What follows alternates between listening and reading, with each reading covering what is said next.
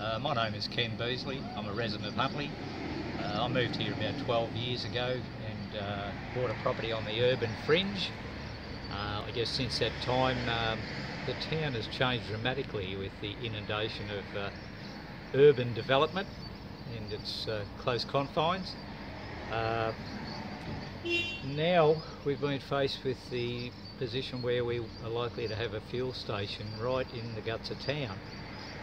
The first thing I, I don't like about that is that this patch of ground is listed in the City of Greater Bendigo's public open space planning to be uh, community site for community engagement, community involvement, community participation.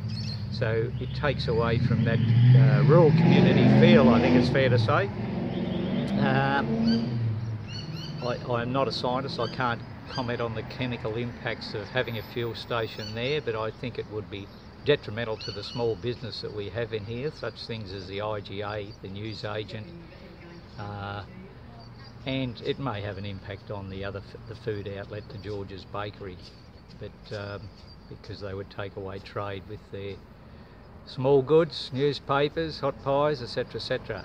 So yeah, I think it's detrimental in the overall scheme of things to Huntly's involvement and its continuity as a small rural township.